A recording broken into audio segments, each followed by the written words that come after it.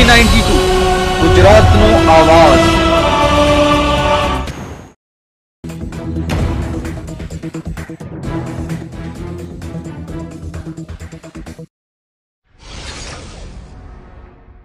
રાજકોટ જિલ્લાના ધોરાજીમાં હાર્ટ એટેકથી એક વ્યક્તિનું મોત.